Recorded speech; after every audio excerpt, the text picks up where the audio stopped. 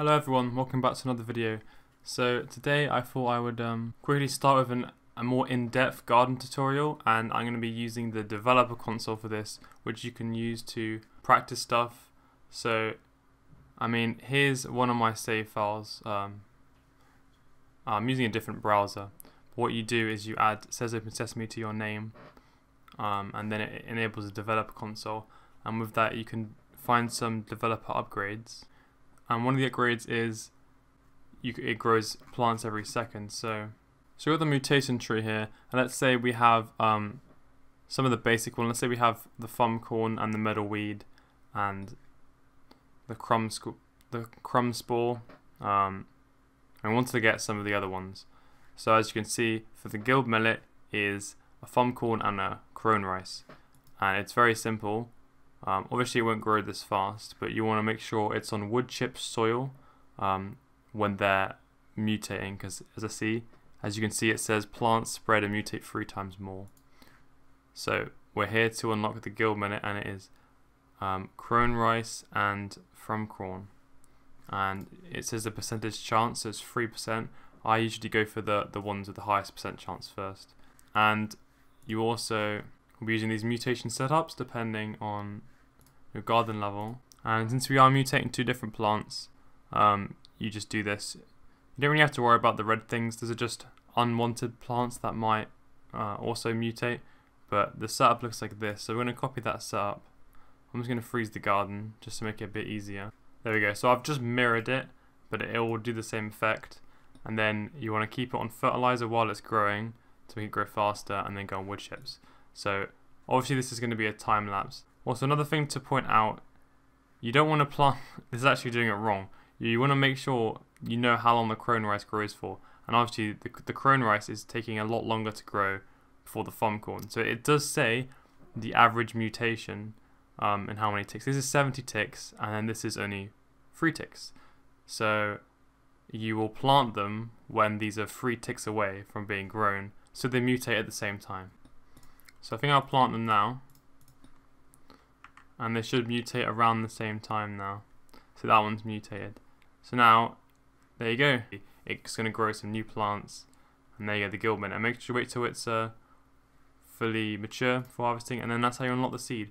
So what we're going to do is I'm going to unlock one of the other ones that I haven't unlocked yet. As you see, I've got 24 out of 34. One second, we don't have the doughshroom, so we'll go for the doughshroom. So this says it's a 0.5% chance for two crumb spores. So we're going to do the same thing with the crumb spores. It is a bit different for mutating to the same plant, but it doesn't matter too much. Make sure you follow the guide correctly, but in not too long we managed to get a doughshroom. So now all we have to do is wait until it matures, and you want to do that for the whole garden. It usually only requires two or three of the same plant to mutate, um, but there's some exceptions, so I'll, I'll show you those ones just in case you uh, we're not completely aware. For the Juicy Queen Bee, it's eight of them, and then for the Everdaisy, it's it's free and free, free tidy grass and free elderwort. So now we go, and that's how you unlock the doughshroom. So for the Juicy Queen Bee, for eight of them to be uh, next to each other, the only possible setup is this, because in this tile you have eight of them surrounding. So that's what it means for that. And then for the tidy grass, you need three elderwort. Pretend these are elderwort. So you have three of those, and then you need three tidy grass, sorry, for the ever daisy. So that's how you do it, and then it can only mutate in this middle slot because there's three doughshrooms and three bittersweet surrounding it.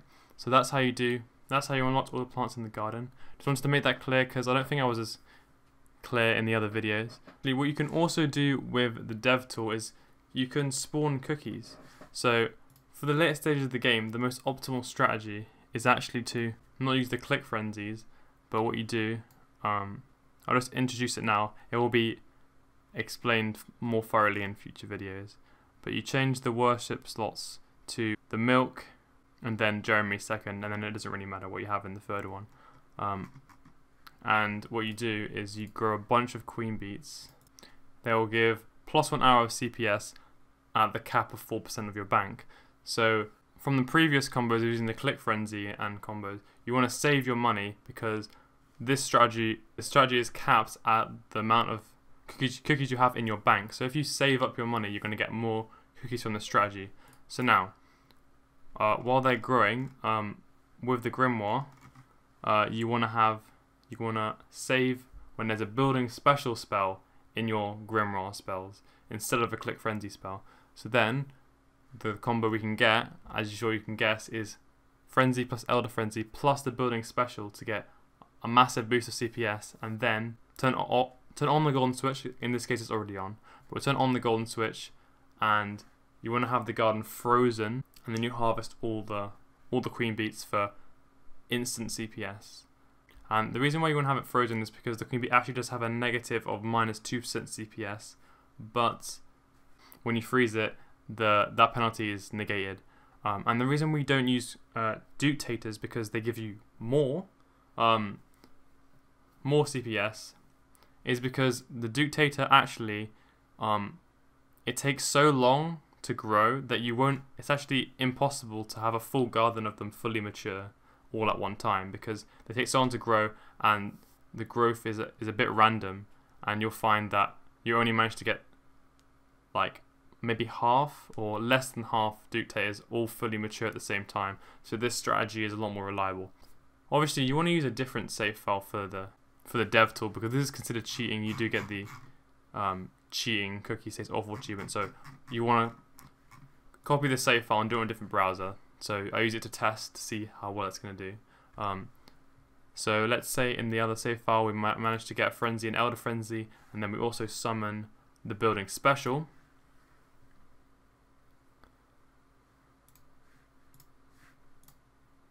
Um, there you go, and then all you have to do is harvest all, and you'll get a lot of you get a lot more twos per second than that. However, I reached the the max, and also I have some some debuffs because um, there's another strategy to do it with loans as well. But uh, that's another topic that I'll get into later. But that is the that's the, the late game strat, so that's also why it's good to have the dev tool of this. But now I'll cut back to the regular progression because I'm coming towards the end of the Clicker series, I will be uploading other videos on this channel, um, mainly just the games that I enjoy. I'll probably do some Twitch streams as well, so it'll be a clip probably edited videos from Twitch streams that I'll soon start. And also in September, Cookie Clicker will be available on Steam, so I might do a playthrough of that. Might do a full unedited playthrough or like not as edited as the as the guide video on that. So stay tuned for that, and I'll see you guys later.